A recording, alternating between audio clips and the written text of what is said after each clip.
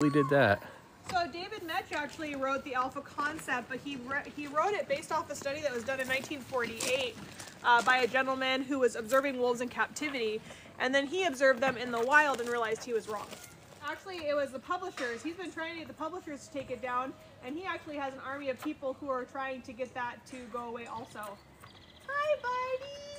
Uh, these are wolf dogs. Uh, these come from a long line of captive bred and born animals.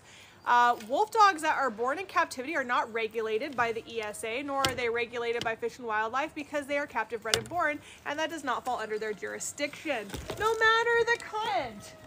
So even the wolves you'll find out in the wild uh, will not be 100%. Um, and not only with, you know, other dogs they could have bred with, but uh, before settlers came across, uh, they actually bred with Native American dogs also. Um, so that uh, deviation from the 100% was has been a long time. Uh, are they friendly? They are very friendly. She does go in there quite often with them too.